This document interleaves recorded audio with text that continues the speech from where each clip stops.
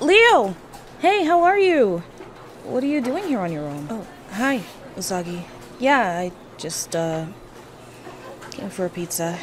The usual? Come in right Uh, up. actually, I'm, I'm only getting one slice. Maybe a water too, if you could. Usagi? Is something bothering you? Huh? We might have not known each other that long, but I can tell something's bothering you. Sitting here on your own? No puns in the last 10 seconds? Ordering a single slice of pizza? With water? Is it really that obvious? What's wrong, Leonardo? It's a long story. I have time. Uh, do you? Aren't you supposed to be working right now, dude? Oh, I am, aren't I? Mm, I have been working for a nice couple of hours. Surely Hueso wouldn't mind if I stepped out for a bit, right? I am so surprised they haven't fired you already. Yep. Anyways, let's get out of here and go talk in the alleyway. For some privacy. Really? Hey, uh... You sure? You don't have to do this, Sagi. I'll probably deal with all of this when I'm back home anyways. No worries. We're friends. Being there for you the least I could do. If you say so.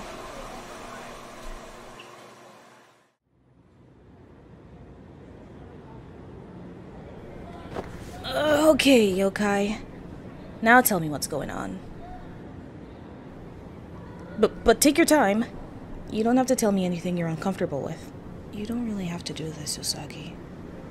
I don't want you to have to worry about any of this. I'm kinda already worried, Leo. You're usually not this reflective. At least, not in this way. I want to be able to help you. That's what any good samurai would do. you are something else, bunny boy. Hey, it's rabbit boy to you. It's in the name. Usagi. Wait.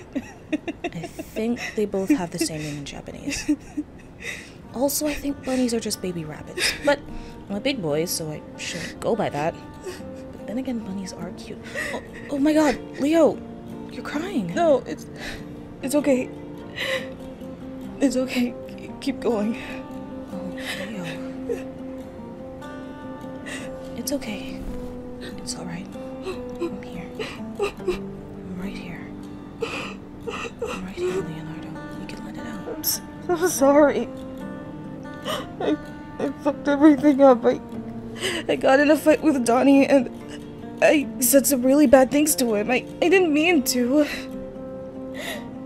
I, I was just so scared when he locked me in his lab. I, I couldn't run away. I couldn't do anything and I feel so fucking useless. I'm sorry. I'm sorry. I'm sorry, Usagi. I'm, I'm so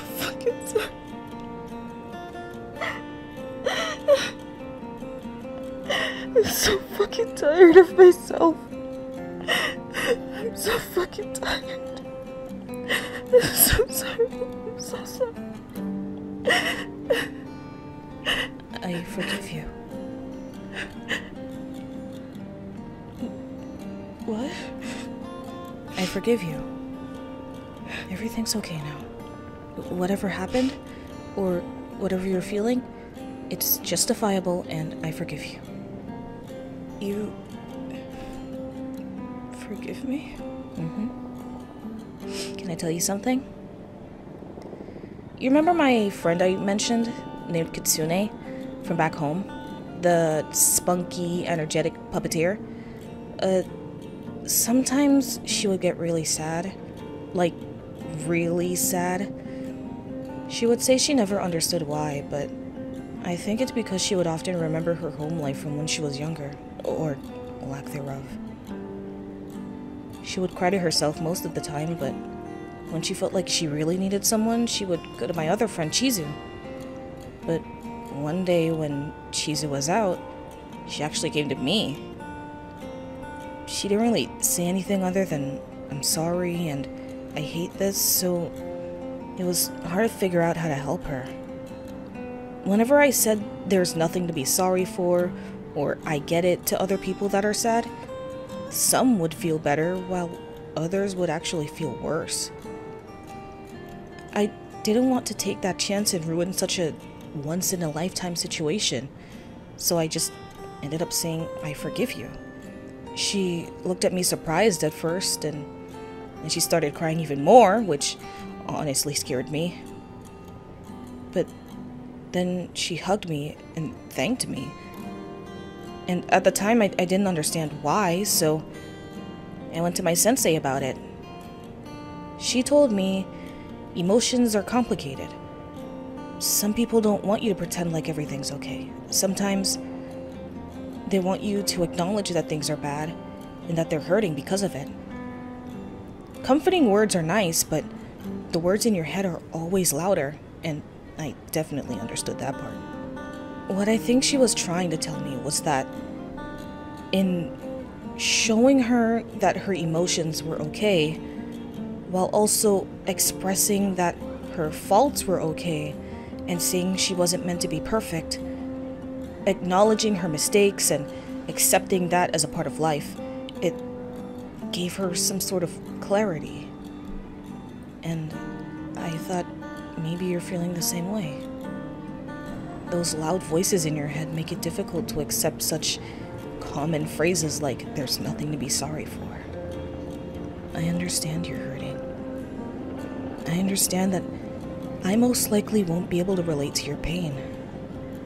But I acknowledge it, along with your apology. And I forgive you, Leonardo.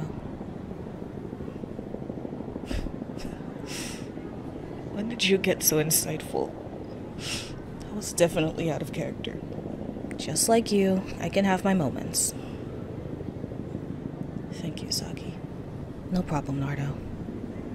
I, uh, hope I'm not making you uncomfortable with this hug. I probably should have asked before going in. it's fine. You're warm. A- and you smell like a cherry blossom tree. Oh, you like it? It was a gift from my nana before I left. I thought it was for old people. No wonder you look 20 years older than the last time I saw you. Get off me!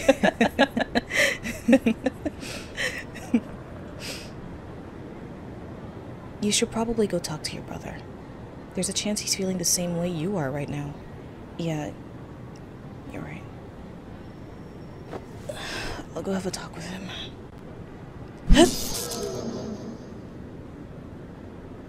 I'll probably bring the others for some pizza next week. Could be a good de stressor. And, uh.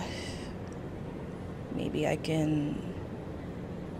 take you out to that Chinese place you talked about recently. Y- you know, as a way of saying thanks.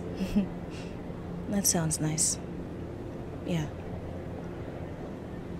Well, see you, yokai. See you. And stop calling me a yokai. I'm a mutant.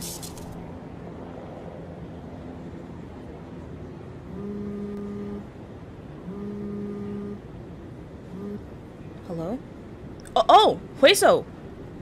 Uh. Yeah, I'm still in there. Here. Still in here. Yeah, j- just around that table.